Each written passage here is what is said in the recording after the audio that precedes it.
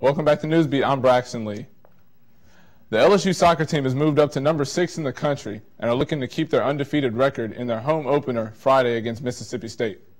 Head coach Sian Hudson and her staff have very high hopes for the rest of the season.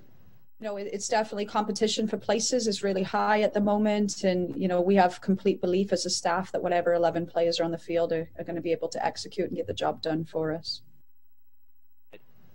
This game also begins SEC play for the Tigers, and Hudson believes her playing strategy for the season will have her team ready to compete nationally.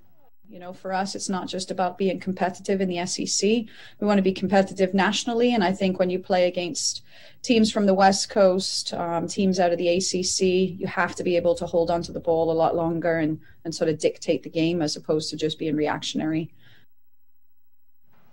Now, on to the gridiron. LSU will face off against the Central Michigan Chippewas this Saturday in Tiger Stadium. Even after their win against McNeese State last week, head coach Ed Orgeron believes the Tigers still have room for improvement. Uh, we still have some ways to go in protection. We still have ways to go in tempo and the way we approach the line, and we're going to fix that th- this week. And also, we need to improve on third down. It's a combination of routes and protection.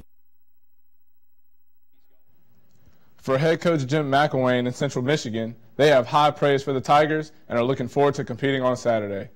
Coach O does an outstanding job. I'm I'm a huge fan of Coach O. I think um, what he does for those players and, and how he handles things, I think uh, you know, is is is really really good.